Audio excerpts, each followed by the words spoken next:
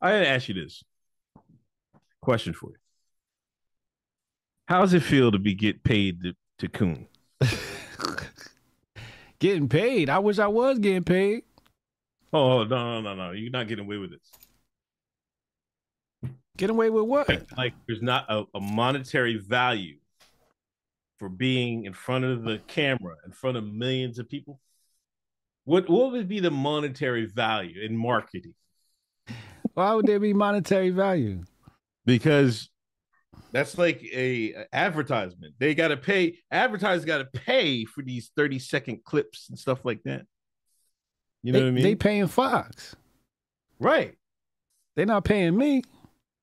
But you you get this advertisement free. You're marketing yourself.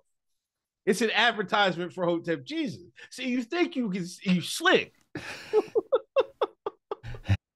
I can't say I am up 2,000 followers after this week's performance.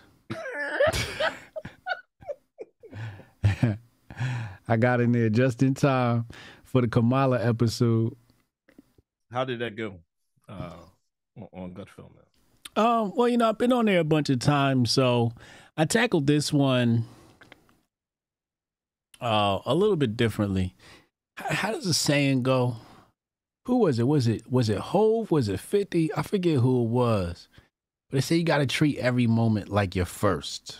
So I treated this episode like it was my first time being on the show. throw on the monkey suit, make sure I look my best. And um I prepared. I prepared for this one. What name you think Gutfeld has for HJ in his phone contacts? Come on.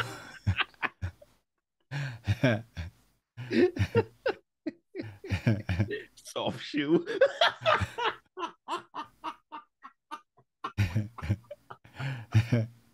y'all ain't right. you know I can ban y'all, right?